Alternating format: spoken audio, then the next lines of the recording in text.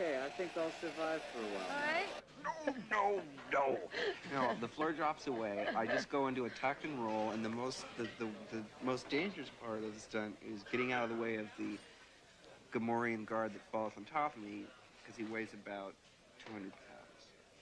That's played by me.